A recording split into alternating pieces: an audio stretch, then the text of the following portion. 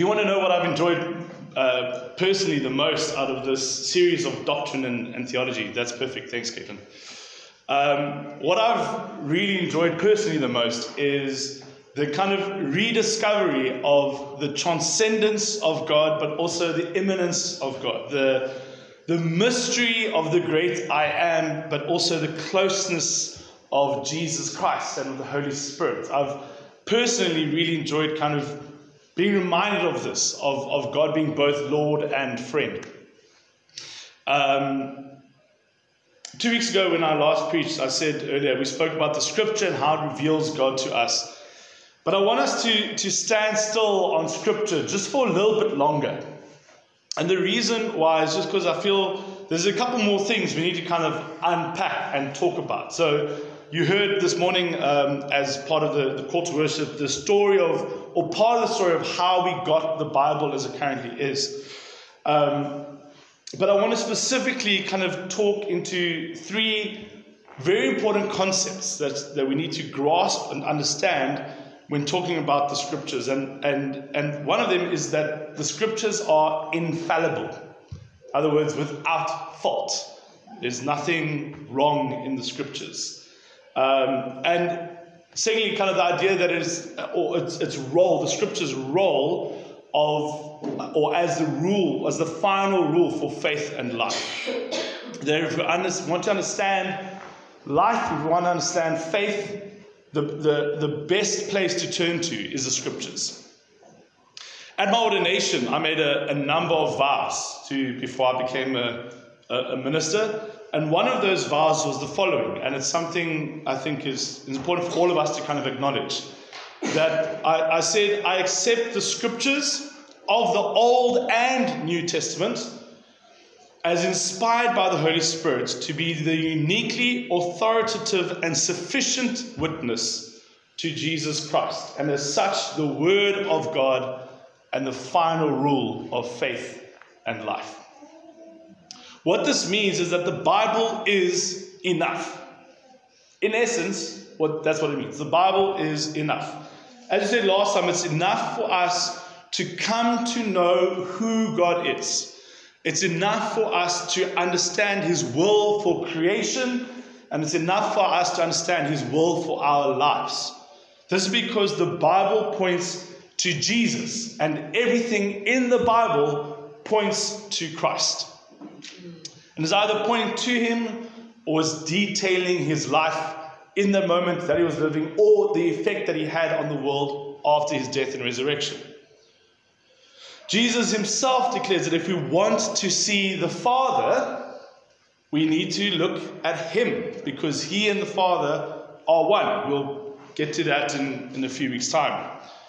The, the danger and the bad theology comes in when we stop believing that the Bible is one, the Word of God, two, infallible, and three, sufficient. This is where things start creeping in. Okay? And where we can start finding ourselves with some bad theology. You see, if the Bible is not the Word of God, then it cannot fully point to God and may be disregarded in life when it comes to seeking direction and understanding sin. If the Bible is fallible, then we can easily throw out passages that make us uneasy and there's no need to see it as the final rule of faith or life because sometimes the Bible might get things wrong. And if the Bible is not sufficient, then we need more than just that to come to know Jesus and to come to know God. Often, then, relying on the words of people to kind of carry as much weight as the Word of God does.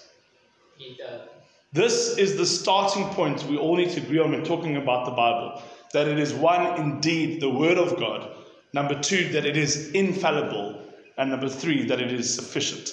We need to understand those things before we start talking about the Bible. So if you want to turn to 2 Timothy uh, chapter 3, and we to read the whole chapter and go into chapter 4, verse 5. So 2 Timothy chapter 3, the whole chapter up into chapter 4, verse 5.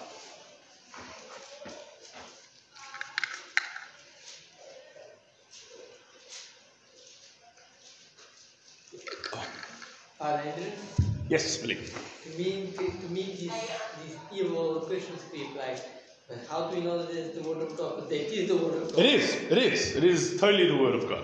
And we're going to talk about that. Amen.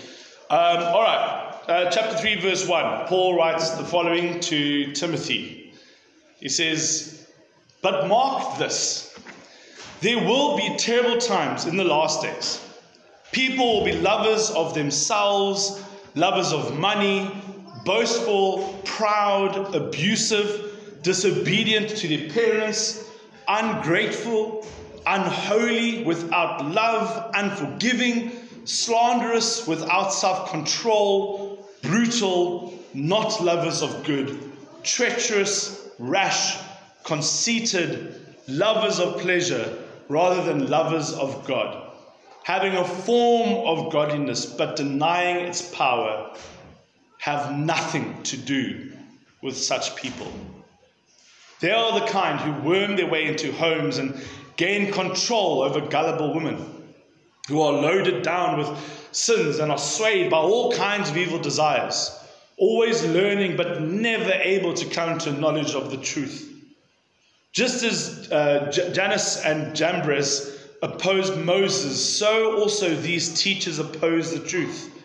They are men of depraved minds who, as far as faith is concerned, are rejected. But they will not, they will get, they will not get very far, because as in the case of those men, their folly will be clear to everyone. You, however, know all my, about my teaching, my way of life, my purpose, faith, patience, love, endurance, persecutions, sufferings.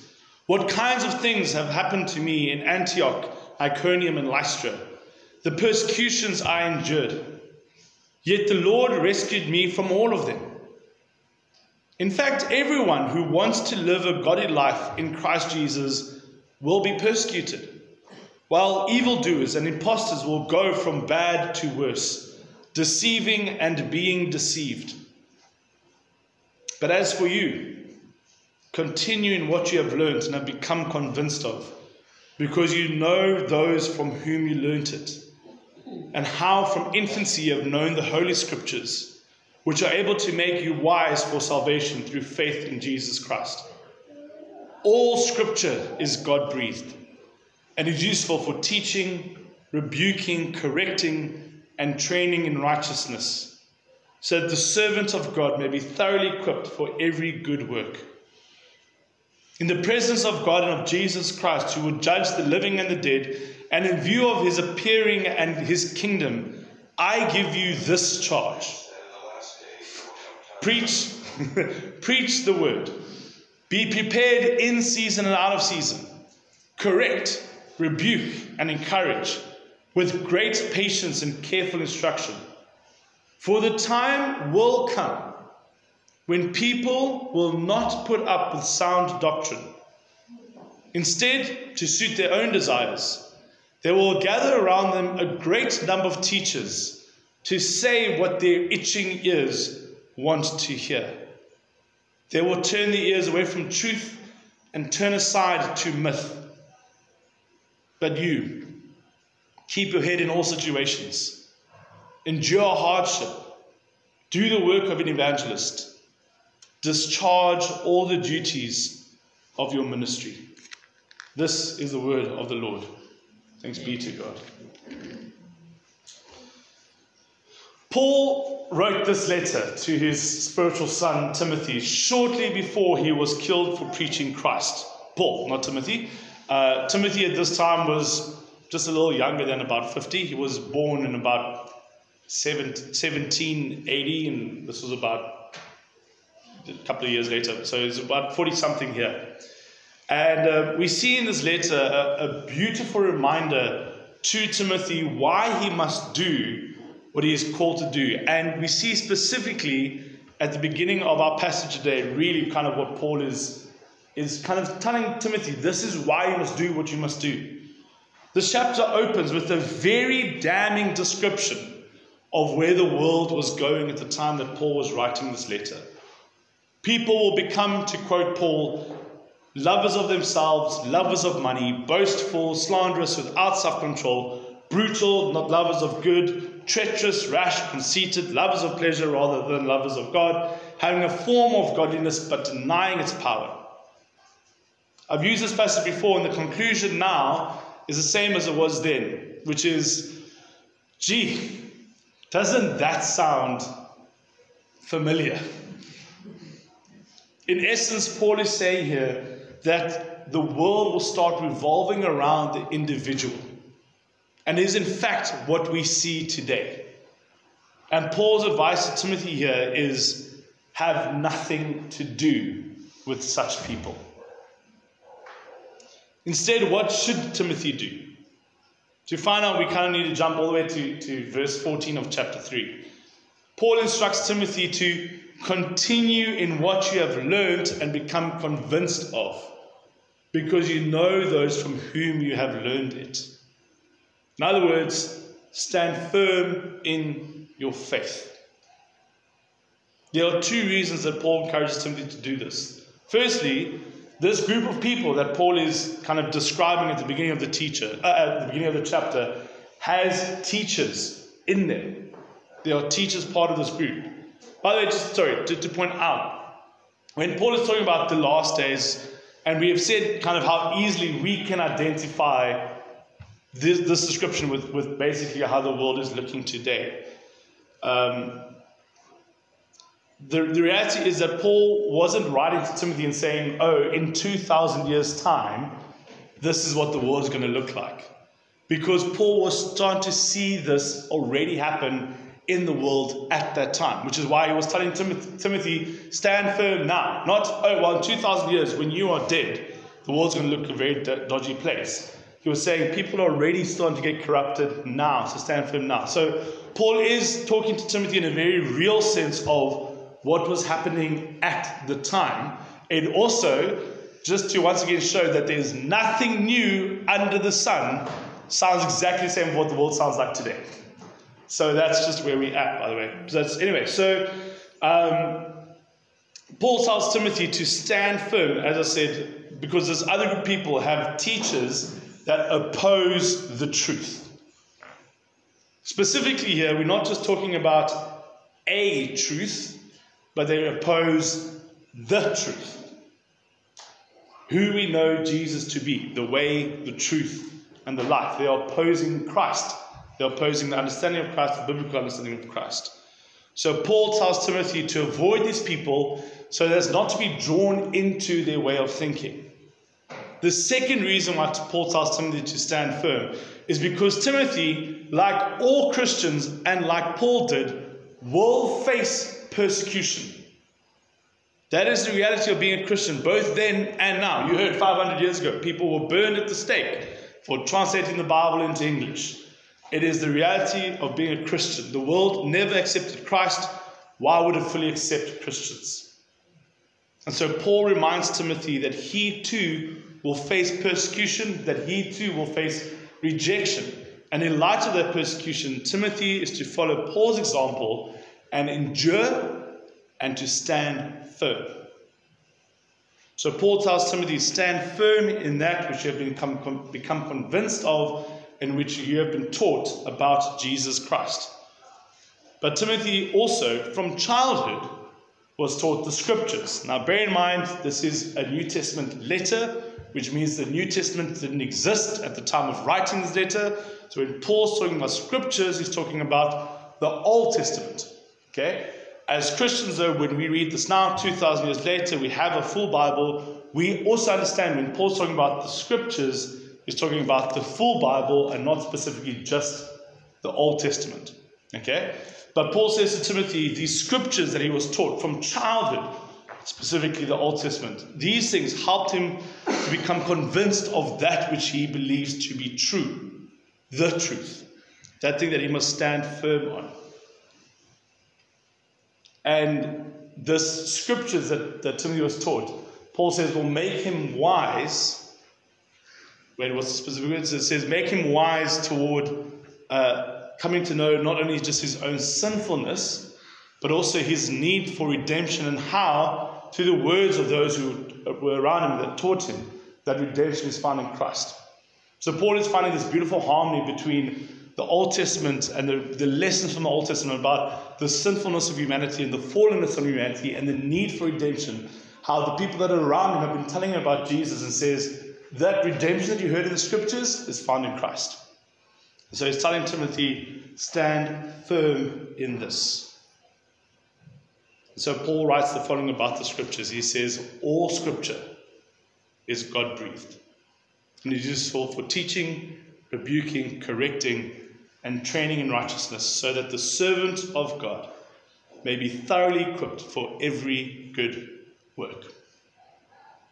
These two verses nail two of our three points we said at the beginning of the sermon that the scriptures are the word of God and that it is sufficient.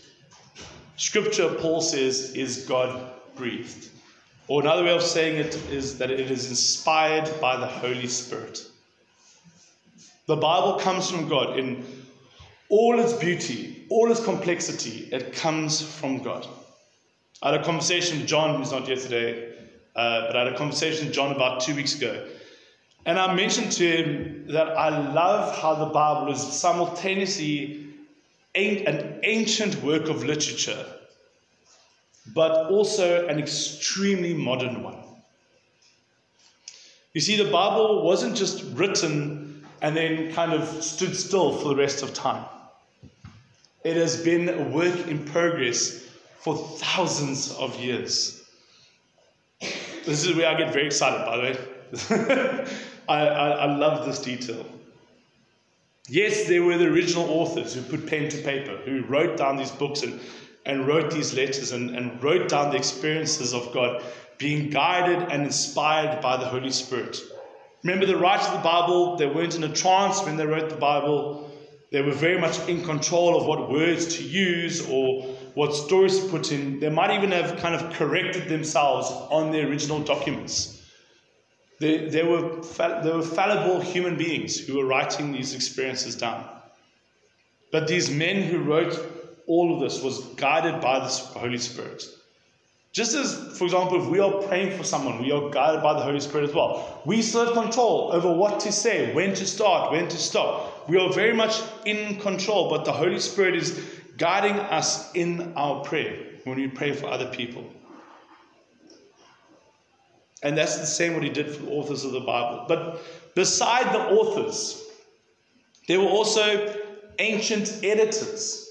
And we can see their, their work in like Mark 16 and in, in John 8, where the modern translations specifically state that older manuscripts don't have this part of this chapter. These are they're, they're groups of people, you know, who kind of got together and said, we feel like there's something more that needs to be added in here. Do we throw those parts out and say, oh, this is not the word of God anymore, just for those parts? There's a little line. Each of your Bibles have it. Ancient manuscripts do not have this. Go look it up. Mark 16, John 8. It's there. John 8 one is, is a particularly difficult one because it's a passage many of us love. It's that adulterous woman who was going to be stoned, and then Jesus wrote in the sand. And beautiful story. Wasn't in the original stories. So do we sit there and say, well, that's not the word of God, but everything that comes before and after is? Or do we sit there and say, God worked through the editors? And he guided the editors and he inspired the editors and said, this needs to go there as well. I think that's beautiful for me. There are then those who, who gathered to decide which books go into the Bible. Rabbis, over hundreds of years, deciding this is for the Old Testament, this is what we want as the scripture, this is not what we want. The New Testament, deciding which books go in, which books don't. What are the, the rules behind it, you know? And people always come like, did you know there are books that were left out of the Bible? Yes, they were, because it was decided and discerned that this is not the Word of God. It's not some woo thing. People make it like got you kind of five Christians. It's really not such a dramatic thing. People had to gather and decide what is Scripture, what is the Word of God. And through prayer and discernment, they did. And that's how we got the 66 books that we currently have. Then there are those who copied the Scriptures by hand, using quill and ink, vellum, possibly by candlelight, for 1,500 years, writing word for word, every single time. Until 500 years ago, the printing press was invented. There are those who then printed the Bible. There are those who spent hours translating it. Those who, did, who today still dedicate their lives to studying ancient Greek and ancient Hebrew so that the next time we translate the Bible, we can do so better. There are modern translators, modern editors, the app writers who write Bible apps, and, and so many more. See, the Bible is not a dead, ancient literary work. It was written over 2,000 years ago. It hasn't been added to since. Sure. But it is constantly being brought to us in a new way. And God's hand is over all of that work. I find that beautiful. And I know not many, not everybody gets excited about things like this. I'm a bit of a nerd like this. I cannot believe that God, who controls the bees in the sky and the clouds and the mountains, is so intimately involved in a process to pass a book down from generation to generation still. He didn't just say, oh, I'll inspire the writers and then step back and say, ah, it's fine now. It's all good. But that is constantly involved. I find that insane and yet beautiful. Paul says that scripture is useful for teaching, rebuking, correcting, and training in righteousness so that we can be equipped for every good work. The Bible is sufficient for us to come to know who God is, but it is also sufficient for us to know how God wants us to live. Yes, the Bible doesn't fully reveal God to us, but it makes known to us who God is. It reveals his heart to us. And it teaches us how he intended us to live. And as such, as soon as one of us goes astray, the Bible corrects us. The Bible rebukes us of our sin. It also teaches us how to live lives that are right right with God so that we can do God's work in the world. I think there's often a discussion that comes up with people of like, oh, Christians always judge. They come along, they say you're doing wrong. And one of my arguments why is because I think Christians, we become quite biblically literate. We don't know our Bibles. As we come to people and we correct them, and potentially from a godly perspective, but we don't do so using the scriptures. And so it just becomes this personal thing of like, oh, you are so wrong. But actually, we're supposed to use the scriptures. The scriptures are what corrects and rebukes and trains us and teaches us. So the scriptures are the word of God, the, the spirit inspired word of God, and it, and it is sufficient for life, how to live life, how to live throughout life. And given all of this, Paul says to Timothy, or he charges Timothy to preach the word of God and to do so at all times. Whether he's ready or not, whether he feels worthy or not, he needs to preach the word of God. He needs to use the word, the word of God, not culture or the word of pastors, to correct, rebuke, and encourage. Because, as Paul says, the time will come when people will no longer put up with sound doctrine. Instead, to suit their own desires, they will gather around them a great number of teachers to say to them what their itching ears want to hear. Once again, how familiar does this sound? Indeed. But people are destroyed for lack of knowledge Yeah, of the scripture. And it's the same today. yeah, yeah, People do not know scripture. yeah. And so they've got all weird ideas. Yes, And, and it, it says in Hosea chapter 4, verse 6, yeah. my people are destroyed for lack of. And one of my sorry, on this note, one of my one of my favorite little passages from Romans is in Romans 10, where Paul says, people's zeal for God. Or he says his prayers for the Jews because their zeal for God comes from self righteousness, not from knowledge of God. And the more we know about God, which is revealed through the scriptures, the more passionate we will be able to, to worship Him. The more passion will be for Him. But people will turn away and they'll turn their ears toward myths and they'll turn away from truth. Because that's what, that's what we find. And, and and the world is very much in this state. It's a very real passage that we find ourselves dwelling in today. Where people are finding teachers who agree with their truths, no matter how absurd their truth sounds. If they find one person on TikTok that agrees with them, they're like, Yes, I'm right and I'm valid. You're like, your, your truth is insane. But people find that one person that agrees with them, they're like, You see, I told you so. We've turned away from the one truth, from, from sound doctrine. But Paul says, Timothy, do not follow them. He says, Do your job. Stay focused on the word of God. Stand strong in the face of persecution. Preach and discharge all the duties of your ministry. The Bible always was, always is, and always will be the one true Word of God. Amen. It will always be infallible and it will always be sufficient for all who believe. It is the one way that we come to know who Jesus Christ is, who the Father is, and who the Spirit are through Jesus. It guides us in how to live holy, righteous lives for God, and as such, it is and always will be uniquely authoritative and sufficient.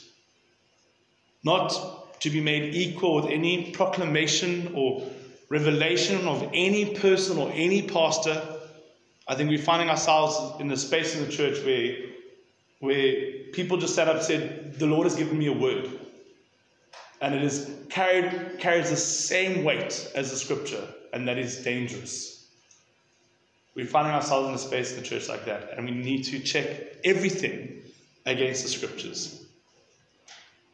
Always test everything against scriptures because it is the final rule for faith and life. This is why I said last time, and I'll keep saying it over and over again, even my sermons, I do my best to stick to the scriptures, I do my best to stick to the gospel. But even my words tested against the, the scriptures. Always, because this is the thing that lasts through the ages. I will die. And my words might be wrong sometimes. But the scripture has lasted and stood the test of time, and everything must be weighed against that. And how beautiful is it that by God's grace it has been passed down faithfully from generation to generation. When you research Bible, the, the, the Bible history, not the history of the Bible and you know the, the, the cultures that you find it, but the history of how this was passed down. And you find out about the Dead Sea Scrolls, and you find out about the translators, and you find out about the meetings to discuss what goes where and how this all operates and all this stuff. It is the most beautiful thing that you could ever imagine. And I find it so exciting. And I love teaching people about that because it is a, a way that God shows His grace to us. And it's one that we take for granted regularly. So, stand firm in the scriptures. That's kind of where we're at. uh, amen. Let's, let's pray. Father God, we thank you for your grace in our lives to pass your word down faithfully from generation to generation. So, by your Spirit, we may read it today still and understand what you are saying to us through your word. Father God, we thank you for people that gave their lives for this message to be passed on. We thank you for the hours spent by so many individuals so that we can sit here today and, and read your word. And so, Father, help us fall in love once again with your scriptures. May we discover you on every single page. May we know that what you are saying to us. May we see it as truly the word of God, sufficient and infallible. Thank you, Father God. Amen. Amen.